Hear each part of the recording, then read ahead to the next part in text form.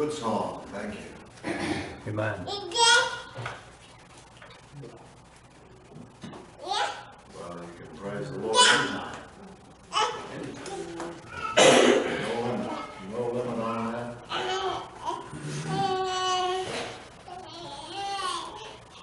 Even when you feel bad. Not just when you feel good. Thank you for that good song. Let's have a word of praise. Think about the word of God. Father in heaven, in Jesus' name, come now, settle in here with us. We have a few moments together to consider the word of God, to consider the life of Christ, uh, the work and power of the Holy Spirit, the purpose of God for mankind. So help us today. Give anointing fresh and new. Open up hearts and minds, ears and understanding. Shed the light on our hearts and lives.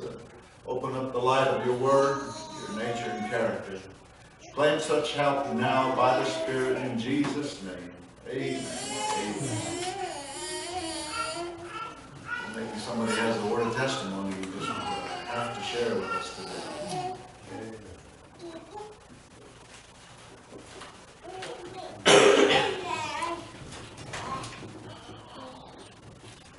In the Romans, or the uh, epistle to the Romans, and in chapter 8,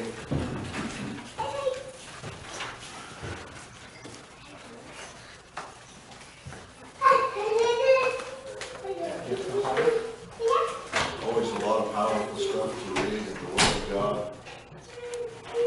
If you're open, if you're open, that is, got to be open. To hear what the Spirit says to you. The message of God for you. In Romans in the eighth chapter, let's, uh, let's read with verse one.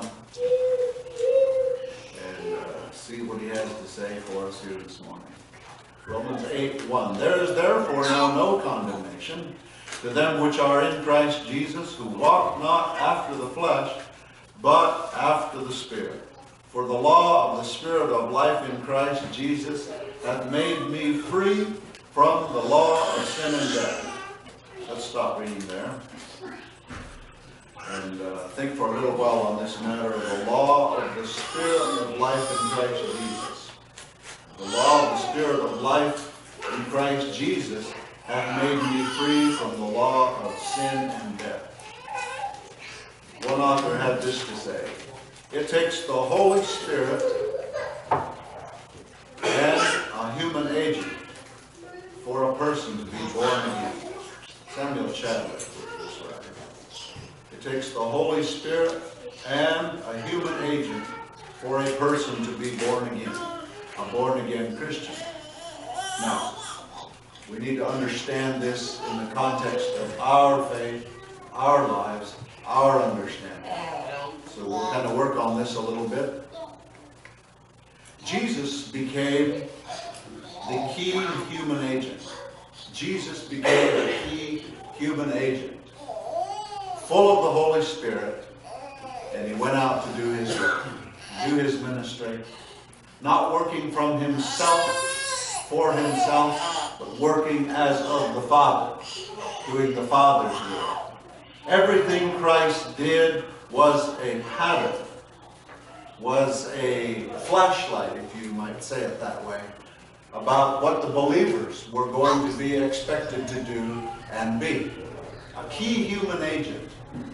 So, I don't, I don't understand fully why. We had a good discussion in Sunday school about uh, the work of God in creation destruction and in the end and all. And I've uh, wrestled with this matter of uh, why did the Lord create all this, all these human beings, and then uh, submit them to the devil when He knew what the devil could do and probably would do. Why do that? You, you know your creation is going to go up in smoke. And you do it anyway. And you understand that? Well, I'm sure you have some grip and grasp, and you're thinking about that. But one thing about all that, regardless of what else you, we may not understand, one thing about that is this, that the Lord God wants for his creation to make a choice. To make a choice. There's something about uh, the human being that God created that is uh, very powerful but very wonderful. Very powerful but very wonderful as well. That being the will. The will of mankind. The will and affection of the heart of mankind. Now, I don't know how I would have fared in the old system of uh, some nationalities and civilizations to where the parents fixed marriages.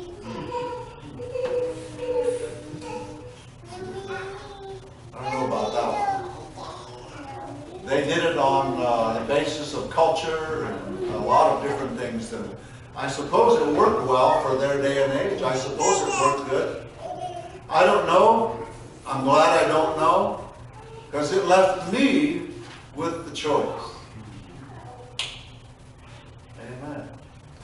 And uh, you might think to yourself, boy, that, that choice though sometimes is rough. I know. If you've done 54 years, you know that sometimes the choice brought about some tough days. But that's all right. When you make the choice and you determine and decide uh, to stay with that choice, then there's great trauma and trials, but there's great blessings and great joy as well. And uh, there's something about that. Uh, I chose her, she chose me. There's something about the quality of that love in that choice It's very special. Very special. And so, in the mix of spiritual and the things of the Lord, God made it so that the human being would be subject to choice and will. And uh, that doesn't speak for all those who died before their age, at the age of accountability. But the Lord made a choice in that matter. The Lord made a choice.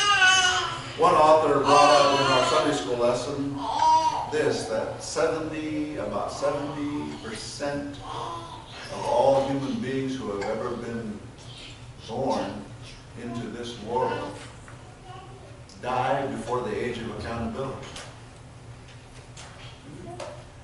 And uh, with our faith in prevenient grace, that, what that means is that 70% of all created human beings, uh, all born human beings, uh, are set. Well, as I look at you, you're not in that number. Because you're still here thinking and choosing. So we're left then with the responsibility to make a choice about God, about faith, about righteousness, about the Spirit, about heaven, about hell, about winning hearts or not. And we have that responsibility. We got to deal with that. So Lord help us to understand. Jesus became the human, key human agent. You and I must become key human agents in the plan of God. Now, one author said this about Jesus. He said, Jesus did all that he did with the same plan that he gave us. What do you mean by that? Well, when Jesus came, he was anointed by the Holy Spirit, filled with the Holy Spirit, and went out and did everything he did full of the Holy Spirit. Now, our doctrine that we believe, that we preach, that we teach says that we can be filled with the Spirit, possessed by the Spirit, the same Spirit that possessed Christ. You want to be a key human agent in the plan of God? Then be filled with the Spirit. Be filled with the Spirit. Start to understand the law of the Spirit of life in Christ Jesus. Christianity is a life that must be imparted. Christianity is a life that must be imparted. before it can be lived. Now, salvation is not going to just happen accidentally. It isn't. If it was going to happen accidentally, there would be no need for missionaries. No need for missionaries. No need for someone to tell the story. No need for someone to lay hands on and pray. No need to ask for God to intervene and to come and do the things he did. There'd be no need for prayer. There'd be no need for preaching. No need for teaching. No need for testifying. No need for witnessing and passing out literature and challenging people to come to church and pray. There'd be no need for it. But as it is, the Lord said to his disciples over and over and over and over and over and over again, Go and teach and preach and heal and give this message to all peoples all over the world. Go. You take that message. So evidently, the Lord wanted for people of the faith who believed in him to become like him, key human agent. Key human agents. We often think of ourselves as just kind of members of faith.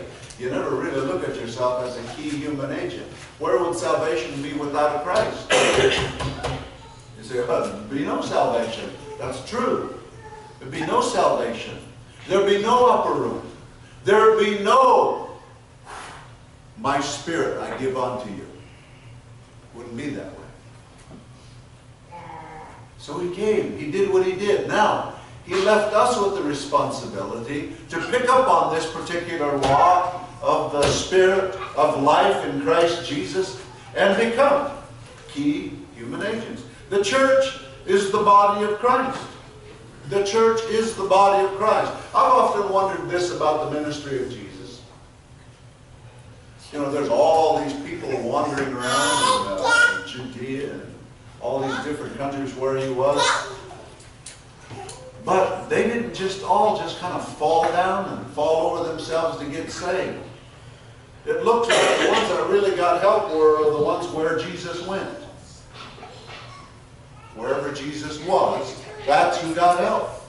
And then he sent his disciples out with help and power, and those were the ones who got help. And then he says, Now, I'm going away. I'm going to send my spirit. I want you to carry this message and heal people. But he said, Wait, wait, wait in Jerusalem until you are filled with power, until the Holy Spirit comes and fills you with power, until the Holy Ghost comes and gives you what I can do. He says, wait, go and wait for the power. so they did that. The church is the body of Christ, and the Holy Ghost is his Spirit. No soul enters the kingdom of God born alone of the Spirit. There is a human agent as well as a divine spirit. Human agent as well as a divine spirit. Therefore, if you and I were to take it upon ourselves to become key human agent, full of His Spirit, we would be where we need to be at the time we need to be, for who we need to be for. Not everybody. But then I don't have to be everybody. Because there's an Amy. There's an Amy Deep. So I don't have to be in everybody. There's a Paul Taylor. See? There's a Joe. There's a friend. There's a Forrest. He's been all over the world. I don't have to go. I don't have to be in a lot of places. Yeah. Why? Because there's a Bill. There's a Cliff. On and on it goes. When we make choice to become the human agent for God's use, then we have to wait for the power. Amen. You say, well, people can get saved just under the power of the Holy Spirit. That's true. So if that was something by itself, why would missionaries have to do it? Why would we need to do missionary work? Why would we need to invite people to church? Why would we need to challenge people to go to camp meeting? Evidently, in the plan of God, in the plan of God, this life, this law of the Spirit, this gospel message, this being born into the kingdom is something that is carried by the human agent and imparted as the Holy Spirit will accomplish His work. Amen. Why do churches die? Well, churches die for this reason. Churches die for this reason. Declining spiritual birth rate. Declining spiritual birth rate. That's why churches die. Populations will die with a declining birth rates. Tribes will die when no more new people are being born. When there's no new little tykes like this one that Dave brought up here.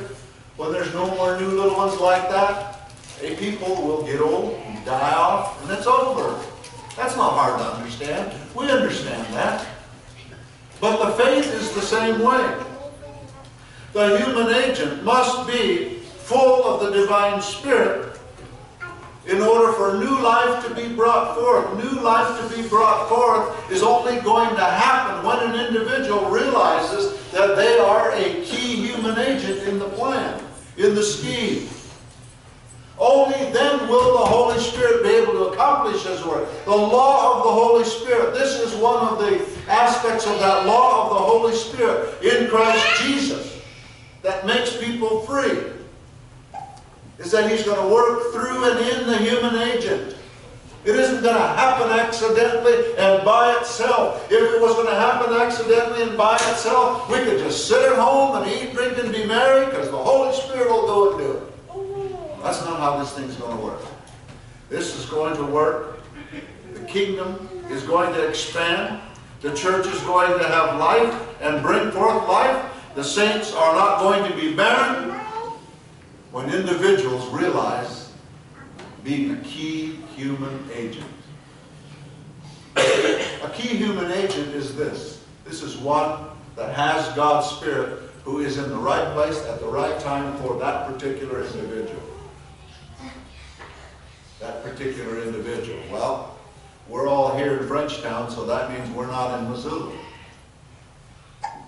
We're all here in Montana, so that means none of us are in Nevada, or California, or Iowa, or Minnesota.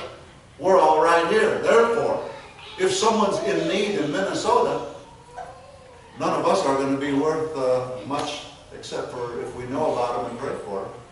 We're not there to help them. Who is there to help them?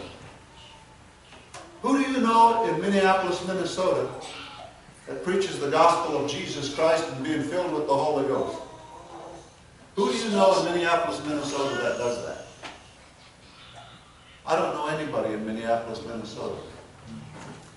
I don't know if I know anybody at all in the whole state of Minnesota that preaches being born again and being filled with the Holy Spirit and going out and helping people find Jesus Christ.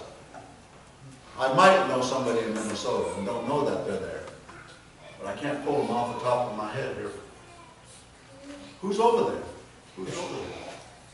Lord help us to understand this matter of being a key human agent. In 1 John chapter 4 and verse 4, 1 John chapter 4 and verse 4, I like this. I lean on this often. 1 John 4 and 4. You are of God, little children, and have overcome them, because greater is he that is in you than he that is in the world. Greater is he that is in you than he that is in the world. Greater is the Holy Spirit that is given to you, the child of God, than whatever power it is that's out here causing trouble and problems. Whatever is against God, greater is he that is in you. The Holy Spirit in you is greater than all of that. The law of the Spirit of life in Christ Jesus must become the law in you so that you can become that human agent, that key human agent, right where you are at that particular time, praying for that individual, those individuals. It might be a prayer for healing. It might be a prayer for healing. You know, um, my wife's sister's not doing well today. Well, why doesn't God touch her? You know, in the beginning when she got that first liver transplant, she was given a 20-year life expectancy. 20-year life expectancy. She had to have another liver transplant and a kidney transplant. And in it all, she's almost at 30 years. She's almost at 30 years of life that she got. Yeah. I don't know who prayed the prayer that helped her to get all these extra years. I don't know. Maybe it was one of you. Maybe it was one of you. You know, my mom has about three terminal illnesses. About three, I think that's what she told me. She has three terminal illnesses. You know something about mom? She's 80 years old.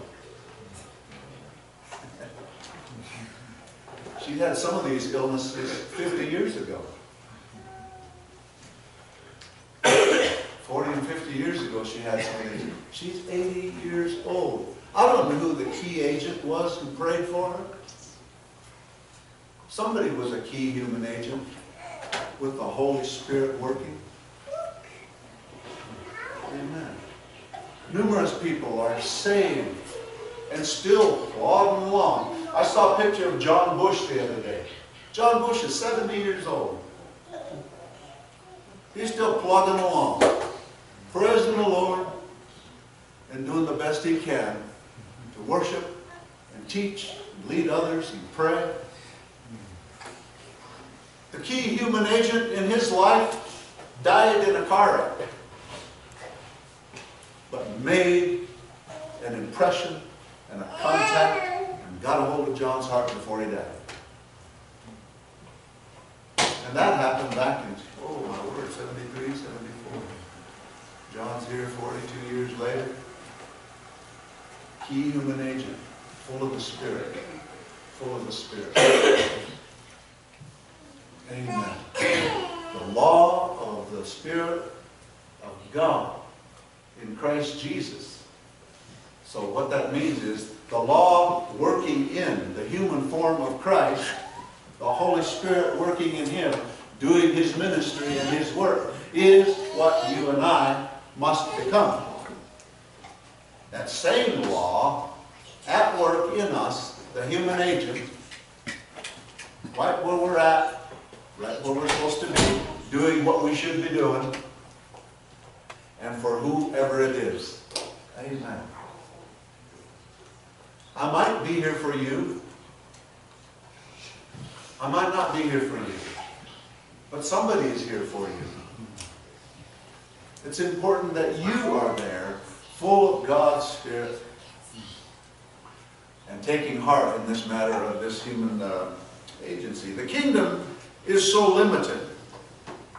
The kingdom is so limited because people somehow lump this whole business of Christianity all in a lump and want to make it all the same and everybody the same. No, that's not how this thing works.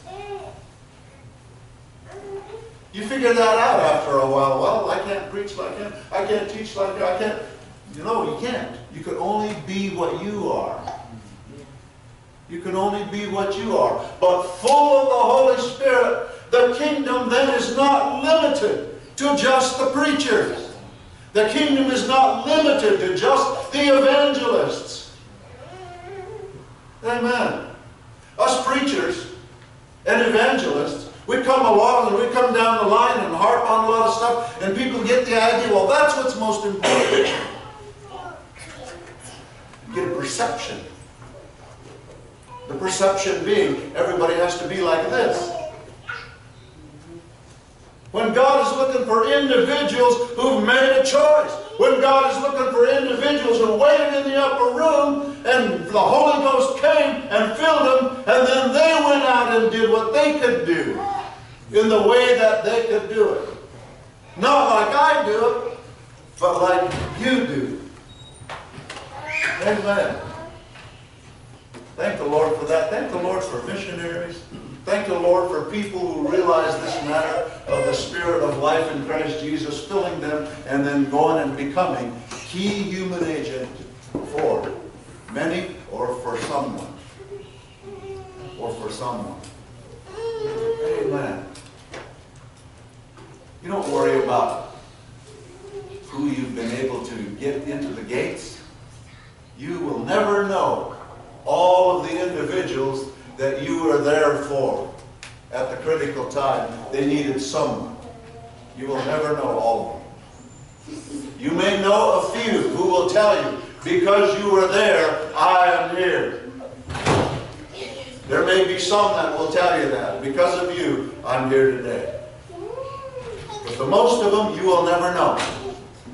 You will never know that it was you that was there, and you were full of the Spirit, and you helped them to find God, find help, find healing, find solace and comfort and guidance and leadership and answers. It was you. Amen. I, you know, we may not have all the answers as to why God limited himself to the human agent, but he did, and so we might as well embrace that and start realizing ourselves to become key human agent. How about down on the seashore there? Remember? Thousands of people on the seashore, and they're all hungry, and they've been listening to the message, you know, and they're hungry, and says, oh, we got all these hungry people, no food. How much food we got? Well, there's a a few pieces of bread and some fish. Oh, great. We got five to ten thousand people here. What are we going to do? Jesus says, what do we got here? Someone says, well, here's a little guy here who's got a little bit of a lunch. He says, bring him to me. Bring him to me. Little guy comes walking over, carrying his little lunch basket. There you go, Jesus. It's yours. Do what you want. And the Lord took it from there. The little guy was a hero that day. Didn't even know it. Begin to realize that, I suppose. Little guy was a hero. Little guy was a key human agent. I suppose the Lord could have spoke loaves and fishes out of nothing. He could do that, but he didn't choose to do that. He chose a human agent to be key at a critical moment. The little guy came, did what he had to do. How about Gideon? Remember the story of Gideon? He's just kind of tending his business, doing what he always did, and the Lord come to him and says, uh, I got a job for you. I Otherwise he goes, oh, wait a minute, that's not me. I don't do things like that. He says, nope, you'll be me. Follow me. I'll show you what to do. I'll show you what to do. Key human agent. Amen.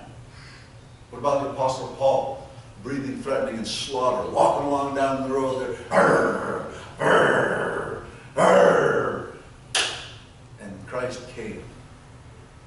Revealed himself to him. Smote him. Struck him down. And then he let him uh, wander in blindness there for a little while. Then he started to talk to him started to talk to him. He said, Paul, I got a job for you. I got something special that I want you to do, that I want you to be. Paul, he's thinking, yeah, great. What am I supposed to do? I'm blind. Can't see a thing. How special is that? But the Lord had a key human agent over in town And he says, I got someone over here who's going to come see you. And he's going to help you get your eyesight back. And then I want you to go do what I'm sending you out to do. It. Oh, sure, the Lord could have just went, poof, eyesight all good. But he didn't. Key human agent, he brought him in, and that guy was shaking. He says, oh, wait, no! That's that's Saul. Don't you know who that is? That's Saul. Man, he's killing me. He's killing Christians. What are you getting me into? But he's God's man. He says, okay, trust you. I'll go. And away he went. Prayed that prayer. And the rest of the world knows the whole world was affected by the Apostle Paul and his ministry into Europe. Key human agent. Amen. You know, lots of stories like that. Even modern day stories like that. When we start to understand some of the, the power of these scriptures, greater is he that is in you than he that is in the world. I have to lean on that a lot, all the time. I have to lean on that all the time, all the time, literally all the time. I have to lean on that. Pull it up. Here it is, Lord. I'm at a loss now, but what now? Over and over and over again, they'll come. Amen. They'll come. Well, do you understand this law of life in Christ Jesus a little better, how it's supposed to work? God has to have you, the individual. God has to have you full of His Spirit in order to do what He wants to do. You can't just you can't just kind of come and be a believer and then go away and do what God wants you to do. You're going to have to come and submit yourself to Him and be a believer, be a follower. But you must, you must, you must wait and get the power that He promised. You must have the Holy Spirit at work in you. It's a law of this life in Christ Jesus. If you're going to get in, if you're going to accomplish what the Lord wants to accomplish, you must have the Holy Spirit. You can't be born again and be a new creature without the Holy Ghost working in you. This is not just a religious club. This is not just a this is not just a religious organization. If we don't have any supernatural in our faith, then that's all we are. It's just a religious club. If we don't have any supernatural in our prayer, if we don't have any supernatural in our faith, if we don't have any supernatural in our heart that breathes the message of Christ Jesus, we're only a religious club, religious organization. Anybody can do that. We'll have parties and meals and uh, go to events and go protest stuff, carry placards and protest stuff. That's all we are. If we don't have supernatural in our heart and in our faith at work in us and through us to where we become key human agents in the plan of God, then that's all we are as a religious club. Another one. Don't let church, don't let religion, don't let the faith just become some kind of a practice. Ask for the Lord to make it supernatural to you, in you, through you, for you, and then for those out here who need that help. For those out here that need that message, for those that need that power to become more and better than what they are. If we don't understand this, folks, we're going to have declining, declining numbers in the faith. That's why our country's in the shape it's in. Declining numbers of people full of the Holy Spirit. It's not a lack of churches. It's not a lack of religious organizations. We've got plenty of those. Travel across the United States and check out some of the big mega churches and organizations out there. Lots. It's not for lack of religion. It's for lack of the living Holy Spirit in the heart. That's how come we got those crazy issues up in our society that are going on today. People think it's normal. We've got big problems. But our problems begin at the individual level when people just let religion just be uh, just kind of a, you know, a church type organization no supernatural existence of His Spirit in the heart. Amen. Lord help us.